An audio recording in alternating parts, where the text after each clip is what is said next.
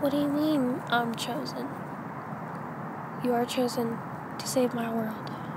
Without you, I fear my world will no longer exist. What is this other world like?